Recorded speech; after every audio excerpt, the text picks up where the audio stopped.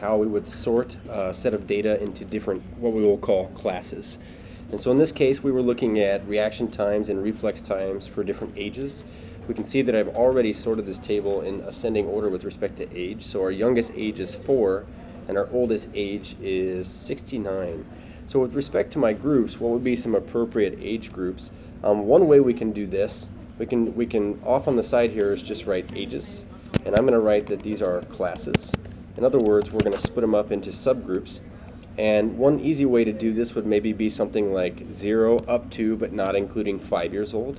Um, the next class then would be like 5 up to but not including 10, 10 up to but not including 15, 15 up to but not including 20. And we can keep going through this scheme here, as a matter of fact. Um, you know, 30 to 35, 35 to 40, 40 to 45. 45 to 50, 50 to 55, and 55 to 60. Um, in this case here, I noticed that a couple of my cells were just a little off on the side there. So I'm actually going to grab all of these that I just manufactured and what I'd like to do is center justify them here so get them kind of in the middle and I like to if I go up to this cell here you can hit you know bold or control B and that'll bold that for you here um, these would be like my groups here. I could just as easily have chosen groups from like 0 to 10, 10 to 20, 20 to 30, 30 to 40, or maybe like 0 to 20, 20 to 40, 40 to 60. So you want to just kind of find a good balance between things here. I think one thing that's worth mentioning is that for each of my classes, it's always going to be the lowest data point up to but not including that next one. So when I talk about ages 0 up to and not including 5, I mean like 0 through 4 there, okay?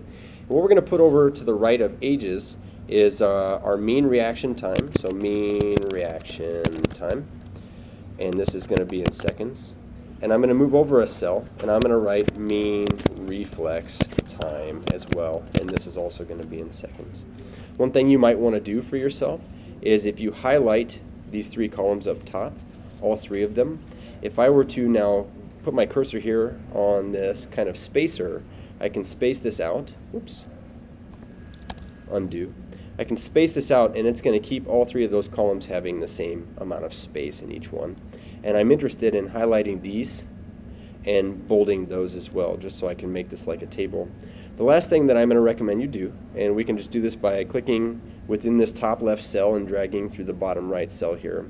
You should have a frame tool and I like to put it in so that there's borders around everything here, but this is going to help us organize our data.